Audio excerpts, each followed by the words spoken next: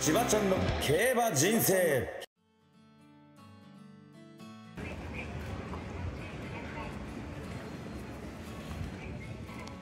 どうも千葉ちゃんの競馬人生千葉ちゃんです。いよいよこの日が来ました。武蔵野ステークスペイシャエスが出る日です。今ミスチルの終わりなき旅を流してるんですけどそのせいで喋れないわ。ちょ消す消す。はい。もうミスチル消しました。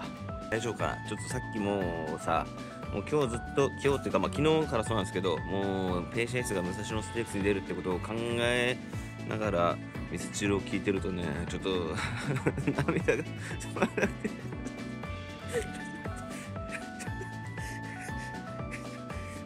きなりちょっと待って待って。喋れないよこんなんじゃ今日は。今日ちょっと皆さんと温度差がすごいかもしれない。ちょまだ8レースも始まってない？ちょっと待って。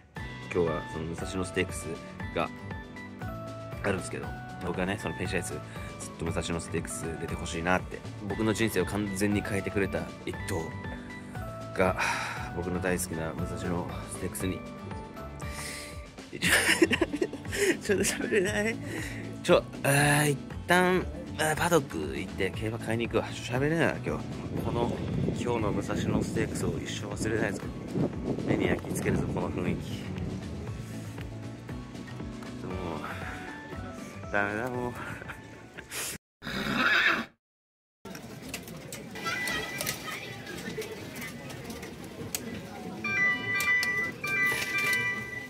さあ一発目、えー東京8レース。本命11番のウィンドポールなんですけど、単勝で買うと2倍前後なんでちょっとまあ安いからいいかなっていうのででアッチャゴーラが僕はかなりやっぱ東京だと戦力後者なので今回のメンツだと、えーうちに入ったマーカンドの馬とか地方から使ってきた馬で、まあ、能力抜けてるかどうかも分かんないし東京戦のこなせるかもどうか未知なのに少ない内枠入ったっていうのとあとはムーアの馬も、えー、東京戦力1回使って3着。で前走札幌で勝ってますけど、まあ、そこまでやっぱムーア人気もあるのかなと。で安定して走れるアッチャゴーラ相手に買えば、まあ、当たるだろうなということで。さすがに、えー東京8レースのことを考えてたので涙は消えました。さあ一発目東京8レースいきましょう。ガイドの馬券死ぬほど安くなってた。4倍ぐらいつくと思ってたのに今2.7倍から3.1とかなってた。まあみんな考えること同じか。うちのマーカンドの馬は相手には買いたくないよね。まあいっか。あーここ当てて次も転がして、えーペイシェイスに行きましょう。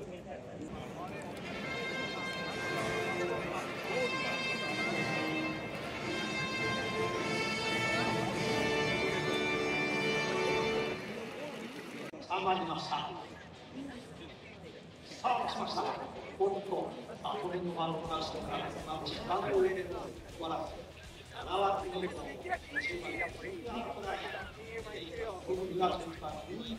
ペイシェイスのこと23分考えただけで泣きそうになってきたもうだ今日もうダメだ超過前の1番バリシングポイント、これ全面カットを受けた大和パー、9番の10番目のそしていやめっちゃいいとこいるわ。アッチャゴーラとウィンドフォール。あー遅い。これはいけるわ。マーカンドどこだ？あーこれはいけるだろう。コアタとあこれはいけるよ。つなげよう。あウィンドフォールこれは勝ったね。アッチャゴーラアッチャゴーラアッチャゴーラー。佐々木。アッチャゴーラアッチャゴーラー。あーよしよしよし。2着だね。2着入るね。よし硬いね。14143番人気。一発目的中とりあえずこれ次のレースに全力できます。早いってもう泣くのが。こんなんで俺マジ武蔵野ステークス見れんのか俺。こんなんで。大丈夫かこれ。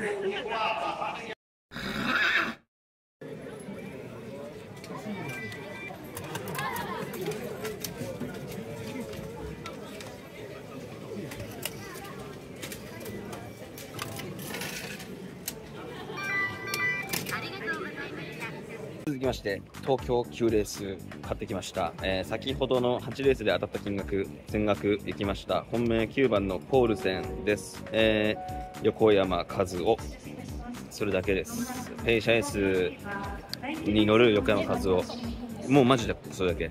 ここ勝って次もペイシャエスも勝つ。それ。で相手にオカメノコイ。めちゃくちゃなんか狂ったように人気ないけど、なんか、その正直その、このレースって毎年荒れてるし、やっぱ2歳のこの時期のダートってもうわけわからんから、で、前走函館2歳使ってボロ負けしてますけど、洋芝の不良馬場っていうのは、ダート馬でもこなせるぐらいになるけど、今年は両馬場だったから、あの、もうかなりダートを使ってきた馬、厳しかったので、度外視できるので、で、まあね、その何が強いかわかんないじゃないですか。去年のやつ見たら、チカッパがね、十何万人気で来てたんですよ。今思うとチカッパなんてめっちゃ強いじゃん。そんなレースなんで、まあまあまあまあ、ワンチャンあるんじゃないかなといういうことで、オカメの声、えー相手に買いました。えー東京9列、行きましょう。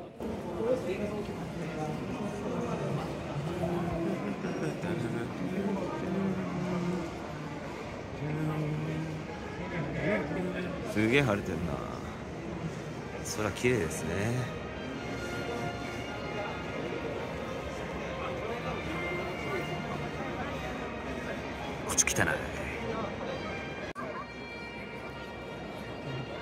あ、ちょっと待ってください。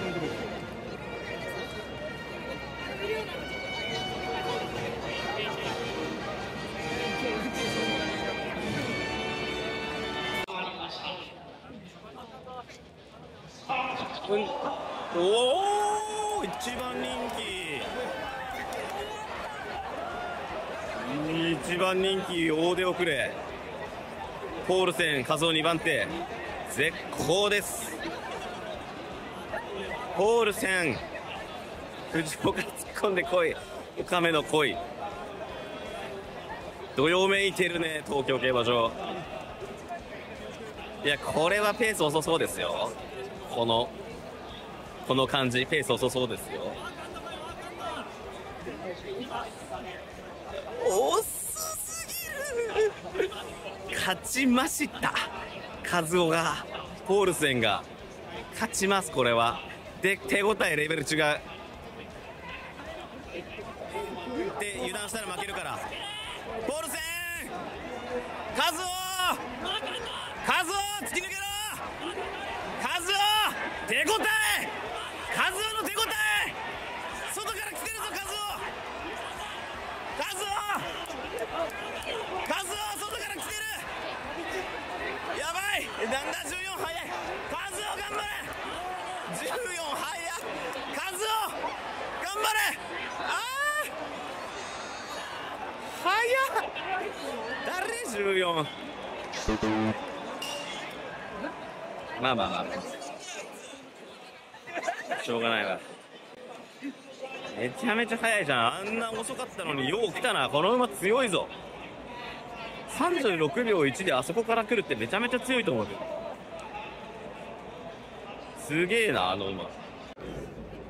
いいんですかバスセンターのカレー？これプレミアついてるんですよね結構ね。プレミア？プレミアっていうわけだけどねいろいろ手に入らないんですよ、おえそうなんですか？うん、ええ今年もいただいたらそうでしょはい。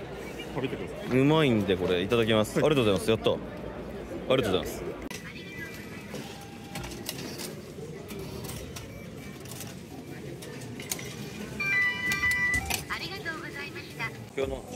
本命14番リサリサ。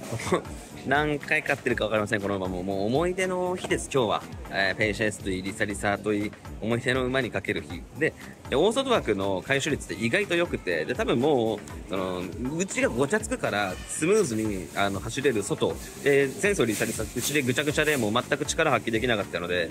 で、まあ、唯一その強い抜けてる馬がいると前走のね孫子みたいな馬がいるとその馬に負ける可能性がある。でその馬がじゃあ唯一可能性あるのは僕はセントメモリーズかなということで、えー74のワイドも買いました。ここら辺で見てすぐあっちにパドックあるんでそうもう歩いて30秒のところにパドックあるからここで見て終わった瞬間そパドック行こうかな。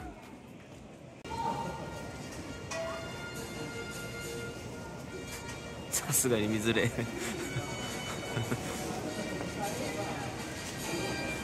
見づれここ。リサリサめちゃめちゃ人気ないんだけど。みんなリサリサのこと何も分かってないね。能力が通用するよ。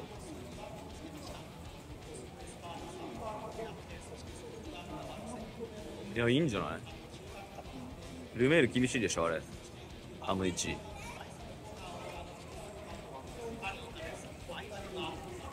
えめっちゃいいと思うよ。前走マジで何もできなかったから。スムーズなら。いやセントメモリーズもめっちゃいいじゃん。えこんな人気ないとは思わんかったリサリサが。頑張れ。いやでも戸崎も手応えいいな。いや戸崎来そうだな。あの戸崎をかわしてリサリサが上がっていければ。いや戸崎手応えいいわ。外出した三浦。来てる。頑張れ。伸びろ。いや来てる来てる。頑張れ。セントメモリーズ来てるよ。リサリサリサリサ。リサリサ。リサリサ。リサリサ。リサリサ。リサリサ。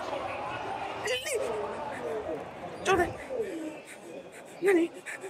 外れた臭いなんか絶妙に外れた臭い。もう急げでパドック行くすごい。すごい。何今の電車です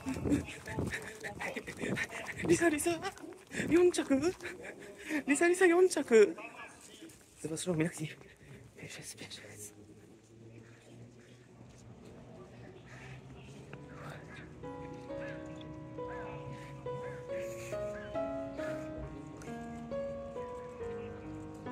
いよいよ武蔵野ステークスです。ペイシャイスに伝えたいことをね、ちょっとまとめてきました。まず、えーチャンネル登録者数めっちゃ増えたよっていう、えーペイシャイスの、えーユニコーンステークスきっかけ、あの時で多分1万7000人とかあったんですけど、あの1ヶ月後ぐらいにはもう5000ぐらい一気に増えまして、でそこからあの時は多分 YouTube 収益も10万いくかいかないかみたいな、えー感じだったんですけど、あのこれはねあのペイシャエスに伝えてますあの先月の YouTube 収益が初めて50万円いきました。ペイシャエスがえユニコーンステークス買ってなかったらエルムステークス買ってなかったら、そして見てくれてる皆さんがいなければ、えー行ってなかったです。本当にありがとうございます。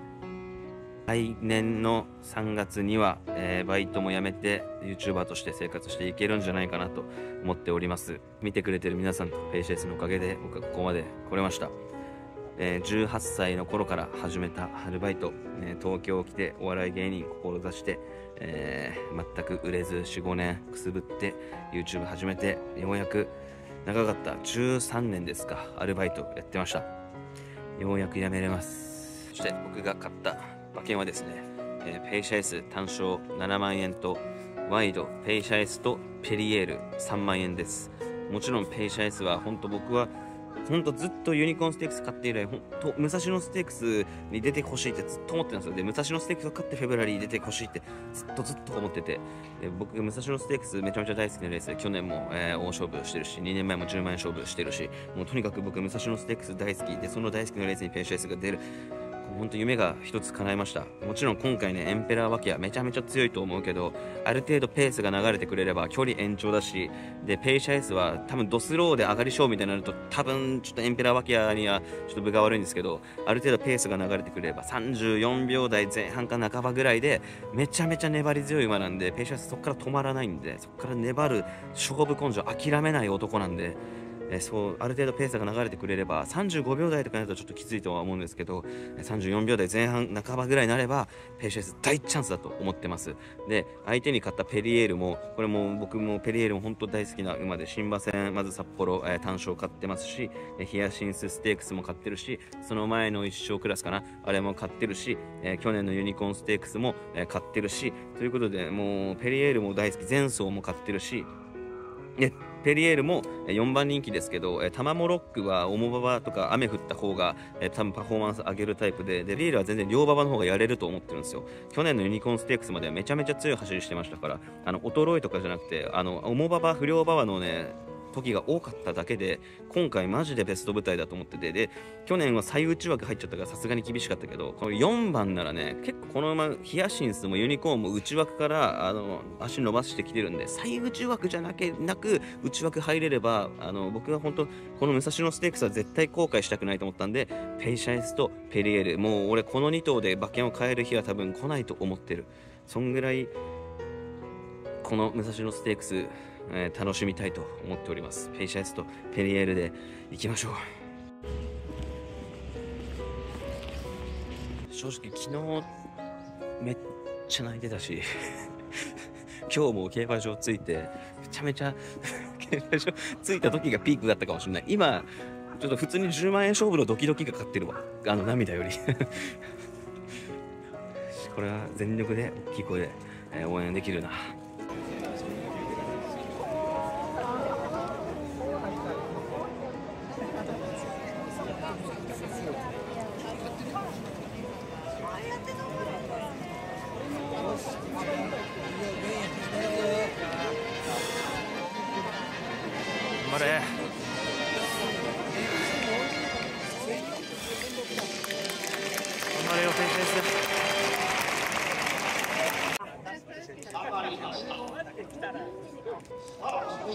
よしよしよし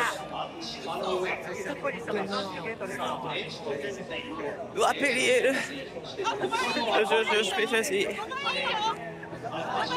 これは流れるこれは流れる。こんなペース流れる。これは流れるぞ。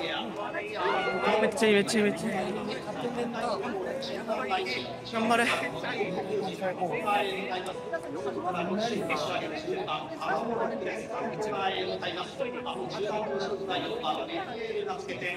ょっと早い。いやでもペペシェンスいる位置は。ペーシェンスいる位置は大丈夫。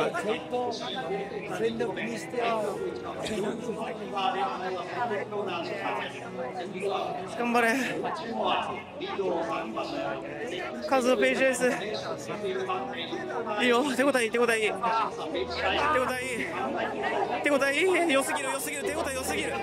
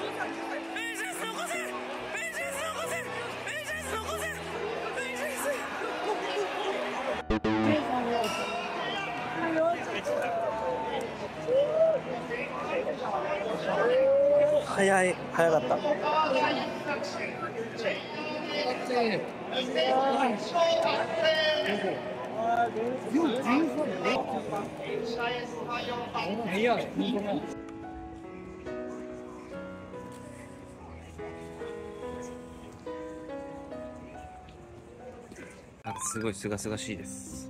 めっちゃペース速かった。33秒8をあの流れでで逃げ馬が垂れちゃったので直線入ってすぐ先頭立ってあのあれはもうね展開的にしょうがないかなっていう能力あるの確認できたんでよかったです。めちゃめちゃ強いと思う。G1 でも期待できるよ。これチャンピオンズカップ出るか分かんないけどフェブラリーステークスとかはめちゃめちゃ期待できる負け方だったし。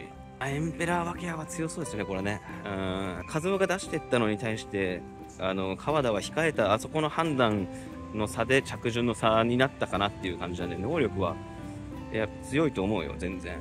サンライズホークもね強かったと思うわそう考えると。2着に入ったカズペトシーンとペリエールあたりはちょっと展開が向いたかなっていう感じなのでペシャイスはかなり強い走りをしたしました。レシャイスは諦めず、え粘り強い走りで今後も、えー G1 目指したり、重賞挑戦するんでしょう。僕も頑張ります。YouTube まずとりあえず、えチャンネル登録者7万人目指して頑張ります。うん、なんかすごい爽やかな気持ち、今。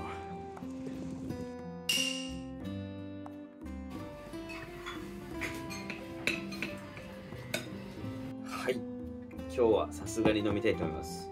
まあまあ、いつも飲んでるけどね。いつも飲んでるけど、今日はさすがに飲みたいと思います。乾杯。これ多分早めに先頭立ってしまったのがやっぱ範囲だったと思うのね。あれ多分前にレモンポップとかがいいる。もう一頭なんかちゃんと強い馬がいてその馬を目標にあの先行策から根性でギリギリかわすっていうのが僕はペイシャエスのあの持ち味だと思ってるんで早め先頭で押し切るみたいな感じじゃないよな。逆に俺チャンピオンズカップでレモンポップがいた方がパフォーマンス上げてきそうでなんかすげえワクワクしてきた。さすがにちょっとねペイシャエスにおんぶに抱っこすぎたから自分の力で予想して当てたいと思います。日曜日にやりました。さあ昨日負けた分を取り返しましょうか。あでも結局ねあのウィンファイブ当てればあの一撃なんでもう1年に2回ウィンファイブ当たればもう多分勝てるんで 結局ねそこがあるんでウィンファイブもしっかり予想してきたんで、えー、今日はウィン4が荒れるんじゃないかなといや結構面白いよこれウィン3ぐらいまではね、結構スッといけるような気がするんで、そこからだね、ウィン3、ウィン4のあれを取れるかっていうところ。さあ、本日も競馬、やっていきましょう。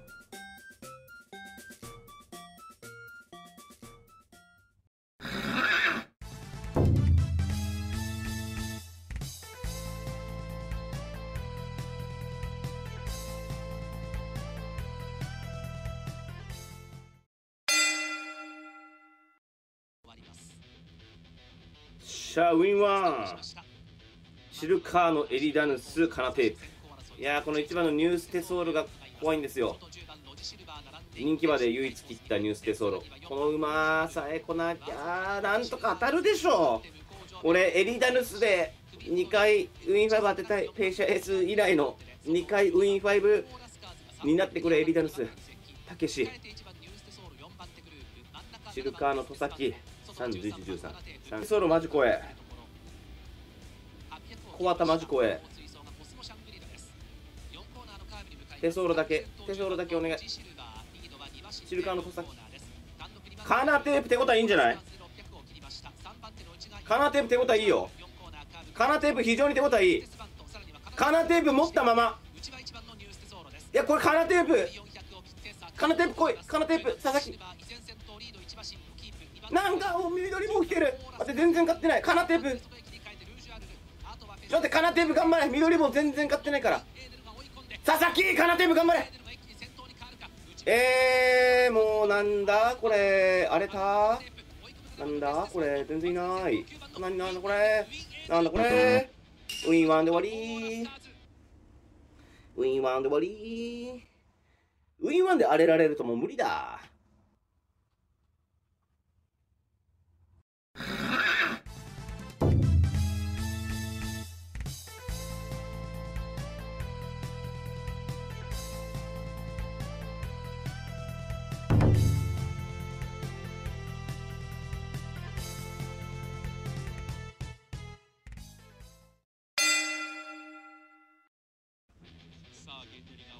ギャラクシーナイト菊沢。行こう。馬が変わったよ。このメンバーなら。ギャラクシーナイト。ああシリウスコルトも積極的。うんうんうんうんうんうんほうほうほうほうほうほうほう。いいんじゃない？いいんじゃない？いやダンディズム怖い。なダンディズム怖い。差し展開にさえならなきゃ。ペース次第ですね。こっからどんだけ遅くなるか。あべ手動いてんな。えー、ちょ待ってもうめっちゃ手動いてんだけど。ちょ待ってもう無理じゃんこれ。めちゃめちゃ手動いてる。ギャラクシーナイトの手だけ異常に動いてる。大丈夫かギャラクシーナイト。あー、差し展開か、これ。あー、もうダメだ。あー、えー、えー、えー、なんで、なんで、なんで、ちょ、待って、なんで、なんで、なんで、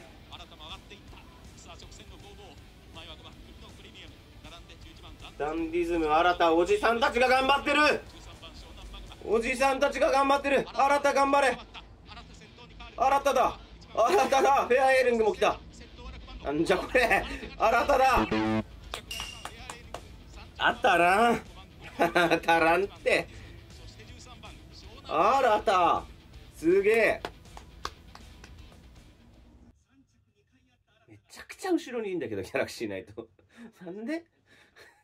なんであんなことなんの？めちゃくちゃ後ろにいる。早かった。さあエリザベス女王杯。本命は？7番のレガレイラです結局レガレイラーってなると思いますで、えーまあ、後ろから行く馬なんで出遅れて後方からの差し損ねっていうのは一番の不安材料ではあるんですけどあの前走のローズステークスは前哨戦だし多分もうルメールも多分乗りながら、ああ、もうこれ届かないですって思いながら乗ってないの。でも別に G2 前哨戦だから別に勝ちに行く必要はなかったし、で、2走前のダービーはうちで動けないポジションだったから動かなかっただけで、あれが外だったら俺動いてたと思うのよ、ルメールならね。っていう、まあやっぱ結局ルメールショっていうだからそこで。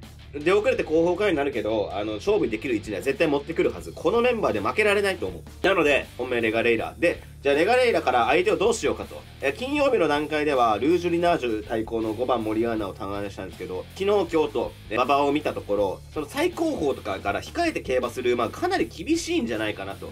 えいうことで、まあ、レガレイラは、まあ、能力の違いとルメールマジックである程度の位置にはいると思うんで、アリエラ、シンティレーション、ルージュリナージュ、モリアーナあたりは、まあ、ちょっと厳しい展開になるんかなということで、相手に8番の新緑化を入れました。うちはすごい荒れてるし、でもかといって、最このシンティレーションとかサリエラは、外出すのに相当外出さなきゃいけないから、そのロスもあってこれるほど抜けてると思う。だから、えー一番いい位置から、えーコンクシェル逃げて、えー2、3番手につける新緑化がそのままギリギリ粘るけど、レガレイラにだけはかわされるみたいな、そんな感じの展開を、シュトラウス、そんな感じの展開を想像しました。レイラと新緑化の馬連ワイド1万4000円と、えー昨日あ、金曜日買った分のレガレイラ頭の3連単があるので、まあまあどれか引っかかればと。外の差し馬よりは、まあやっぱ先行馬の方が非常に有利な、えーレースになるんじゃないかなとは思っております。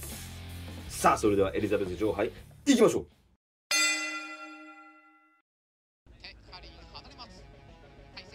レガレイラー新緑化レガレイラ出たレガレイラ出た出た出た出た出たなんか独特なステップ踏んでたけど。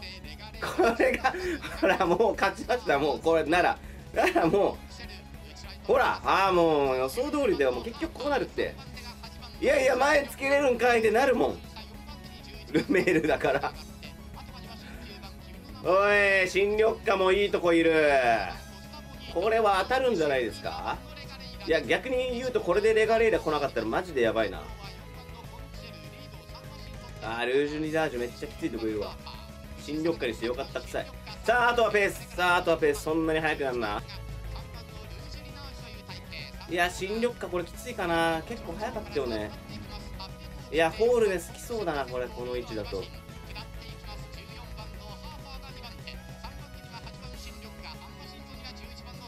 いやシンティレーション手応えいいんじゃない？い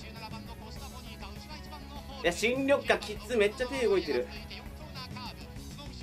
新緑化小綿新緑化。新緑化来い内から。うわ狭い狭いレガレイラ。いや新緑化きつい。いやいや待ってレガレイラやば。レガレイラやば。マジ？いやすごい能力。待って待って新緑化頑張ってんじゃんめちゃめちゃ。ちょ待ってなんだこれ？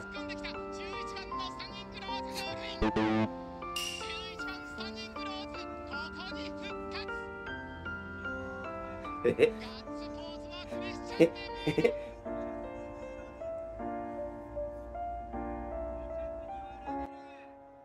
2着にはラベル。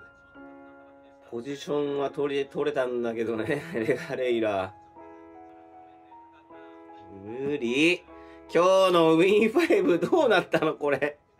誰が取れんの？こんなの。無理こんなの。他で13万ぐらい負けてるよ。さすがにやばいって。11月もう23万ぐらい分けてる。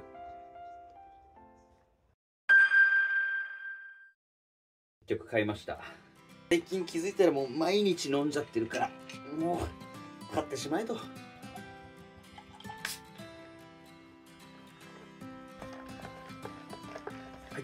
乾杯あの僕決めました例えばさえー調教めっちゃいい。今回は前回と違ってこうこうこういう部分が変わって調教めっちゃいいから最高の状態です。でも展開合わなかったら終わりですから。どんだけ調教いい馬でもシンティレーションみたいなことになったらもう終わりだから。過去のレース映像を見てこうこうこういう条件でめちゃめちゃ強い。で今回はそういう条件になるはず。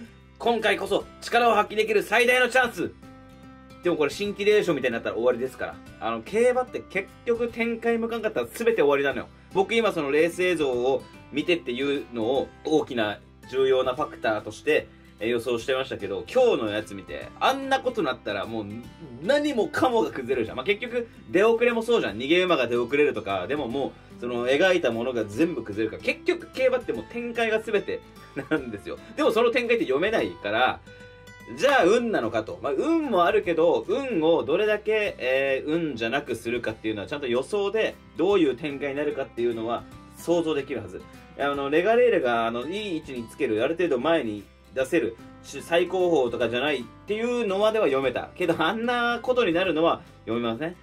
今まで僕その展開をそこまで重もちろん重視はしてたけどなんかちょっと今回のメンツだとどういう展開になるか分かんないから、まあ、展開じゃなくてそのシンプルに能力面で買おうみたいな時も結構あったけど俺なるべくもう展開を重要なファクターとしてこうかなって今日思いました。もうあんな、マジ無理だもん。どんだけ状態良かろうが、どんだけ、その、舞台があってようが、シンティレーションみたいなことになったら終わり。あんな、ってなったら、もう、かわいそすぎる、あれは。さすがに、シンティレーションから勝ってた人。まだからやっぱ競馬は結局前逃げ馬が有利なんですよね。後ろ行くと大外を通したりさああいう進路がなくなるとかそういう不利が起こる。でも逃げ馬だったら自分で好きな場所通れるし前が壁とかもないからね。そういう意味で言えばやっぱ逃げ馬前行く馬がやっぱり有利なんだなっていうのは今日改めて思いましたね。展開はもうちょっと重要なファクターとしていこうかなと思います。そして、えー、来週の、えー、土日マイルチャンピオンシップの週ですね、えー、京都競馬旅行、4回目の京都競馬旅行行きたいと思います。あー、よろしくお願いします。えー、現地で見かけた方、ぜひお声をかけてください。ま僕結局ね、京都競馬場行きは勝てるんよ。え、宝塚記念も勝ったし、一箇所も勝ってるから。今、京都競馬場で連勝中だからね。あの、最近ちょっと調子悪いですけど。あと、やっぱ俺、家にいたらダメだ。家だわ。問題は。ダラダラしちゃう、家にいると。マイルチャンピオンシップ絶対勝つわ。前の日の土曜日、え夜9時から、え京都競馬場ではありますけど、え生配信しようかなと思っております。ちょっと場所、えー、どこ、場所とかね、いろいろ、あのー、時間遅れるかもしれませんが、チャンピオンシップの前の日の土曜日、えー、生配信しようと思ってますので、そちらもぜひ遊びに来てください。それでは、本日もご視聴ありがとうございました。